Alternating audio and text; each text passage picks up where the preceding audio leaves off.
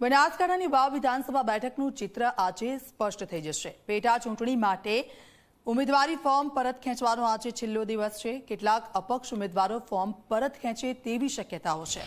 અપક્ષ ઉમેદવાર જામાભાઈ પટેલ ફોર્મ પરત ખેંચે તેવી શક્યતા માવજી પટેલ ફોર્મ પરત ખેંચશે કે નહીં તેના પર સૌની નજર રહેશે.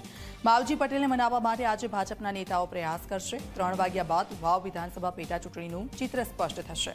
મહત્વનું છે કે વાવ વિધાનસભા બેઠક પરથી ભાજપે સ્વરૂપજી ઠાકોર અને કોંગ્રેસે ગુલાબસિંહ રાજપૂતને ટિકિટ આપી છે. તો ભાજપ પાસે રહી ચૂકેલા માવજી દેસાઈએ અપક્ષ ઉમેદવારી કરી છે.